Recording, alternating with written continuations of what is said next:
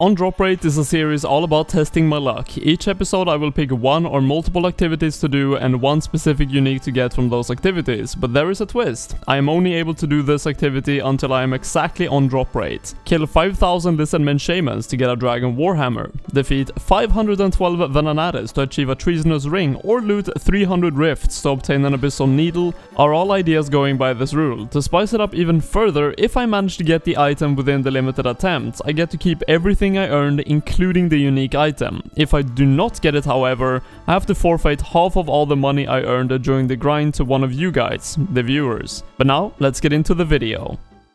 What is going on guys? Welcome to another episode of the On Drop Rate series. This beginning of the video will be a bit different than the other ones because I'm actually going to start off by doing a couple of requirements that will help me on the grind that I'm going to be taking on. I'm going to be going for the Enhanced Crystal Teleport Seed from the Elves and I'm going to be pickpocketing them with 85 Thieving, but for that I actually want to get a spell from the Arceuus spellbook which is called Shadow Veil.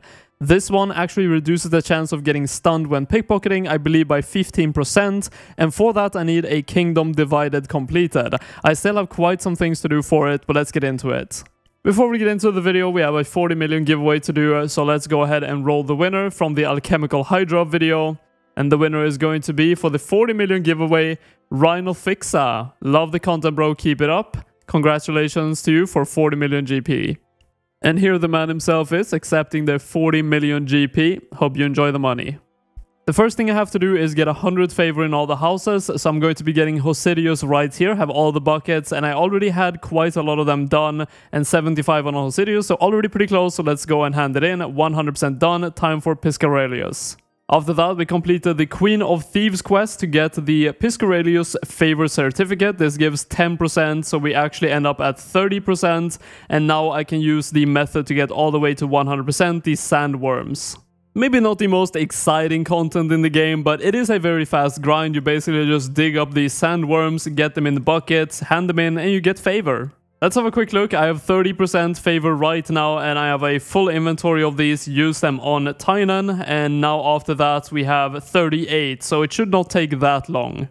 I think last inventory, here we go, this should be a 100 completion and now we just have a couple of quests to complete before I can actually do the big one, A Kingdom Divided.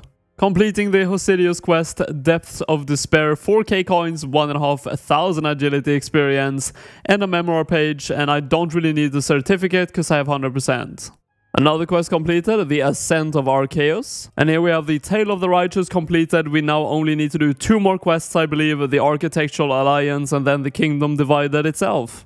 Because the Architectural Alliance is a mini quest, you do not get a pop-up for it after completing it, but a really good thing of completing this quest is you get this teleport right here. You can actually teleport to the Xeric's Heart, so now you don't have to use the current teleport to get to this area right here. Everything ready in my inventory for the Kingdom Divided, so let's go ahead and complete the quest. There is a couple of boss fights in this quest, but none of them are really that difficult.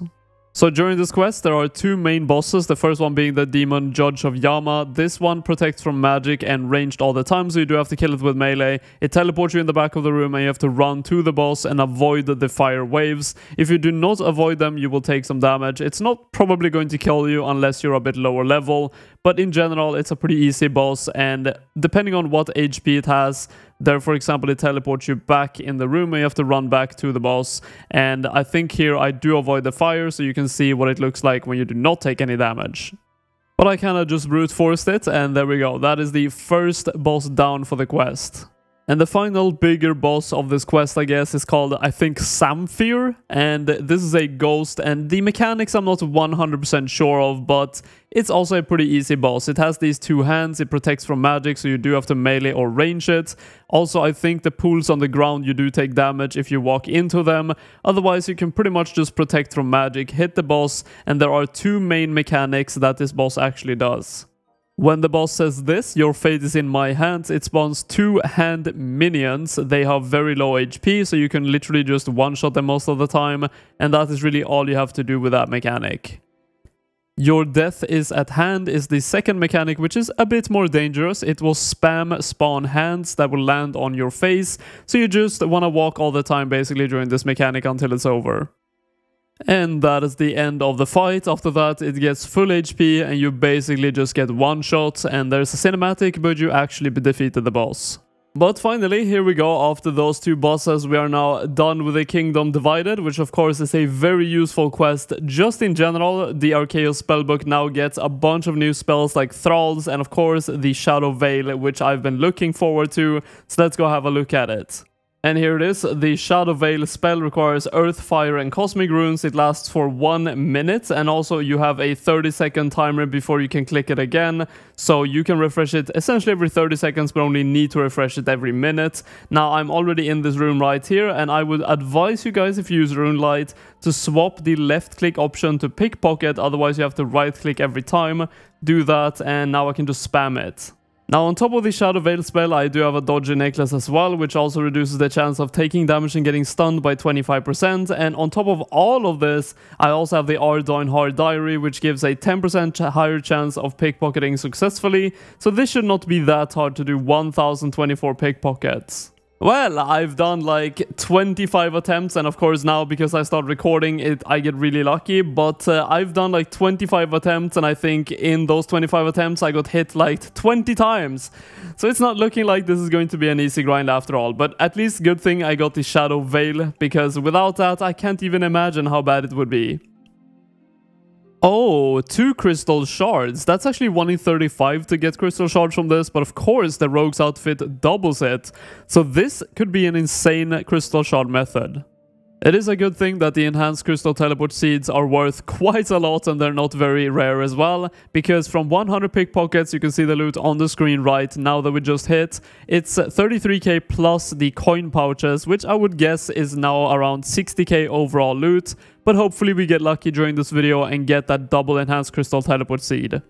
So I actually wanted to look up what the chances was of successfully pickpocketing an elf at the different levels and as I am 85 which is just the level to do it, I was wondering if it is a massive difference compared to 99 and there is a difference for sure but you can see here on the screen that it's at 33.94% at level 85 and 39.2 at level 99 which is not a massive difference but there is one thing that actually does change this quite a bit and that is the thieving cape. I do not have that and it gives a 10% bonus on top of the 39.2% you would get. And the Hard Ardougne Diary does the same thing, so you can get at 99 a maximum of 47.4% chance. But at my level and my boosts, I have a 37.3%. And how percentages work, that is an overall of roughly 20% difference in success rate. So we just hit the halfway point, 512 pickpockets, and I do have to say, it is pretty slow for my level. If I was 99 with the Thieving Cape, all the bonuses I could have, I could probably get this roughly in an hour, but it has been 2 hours for me now, so I'm getting about half of the maximum amount of efficiency you can get. But that is okay, I have still not got the Enhanced Teleport Seed, but there is still a decent amount of pickpockets left to do. Yo, what? did you guys see that? She just walked through the wall. How did that happen? I mean, I'm not complaining now. She's stuck again. What the? Oh, I got it. Oh my god, I actually got it. I was getting kind of close to the end. The loot is on the screen right now. 725 pickpockets and we actually finally got it. Look at that. Four and a half million GP from one of them. And of course, because of the rogue's outfit, that is a 9 million worth pickpocket. And of course, basically all the money you get is actually from these enhanced crystal teleport seeds. But uh, we also got 256,000 thieving experience. So overall, super successful.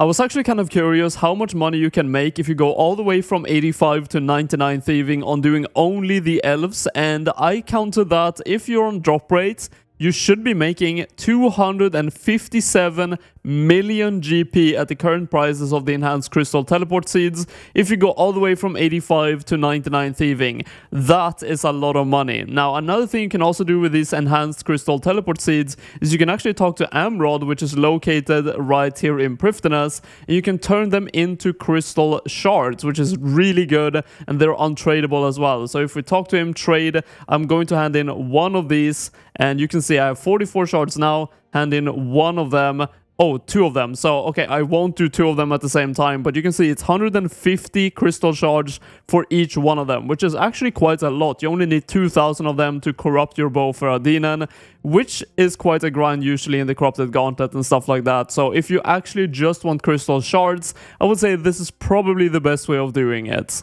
I'm going to be speculating a bit, but I do think it's a pretty good educated guess I'm going to be doing. So if you look on the screen right now, this is the graph for the enhanced crystal teleport seed the past month, and you can see how much it's gone up the past week. I think this is because of raids 3, and a lot of people are buying these seeds to actually make them into crystal shards for the bow for Faerdhinen. It's really good in there, and you can see right now it says 4.5 million, but it also says actively traded price 4.6 million. So I'm going to be putting them in for the medium price, and just just because of that, they're not selling. But I'm going to keep them in here for a bit, see if they sell. And honestly, I think they will because there's so many people. Well, there you go. They sold. That did not take long at all. So yeah, if you're going to be doing this, this is a great time to be doing it. But that is going to do it for this video. Without a doubt, a bit of a different video. I don't usually do that much skilling, but I do have some skilling goals in mind that I want to make for this series as well that I think are going to be extraordinarily fun to make and good to watch as well. So I hope to see you there in the future videos. Subscribe if you want to be notified when those are coming out. And until next time, guys, take care and good luck making money.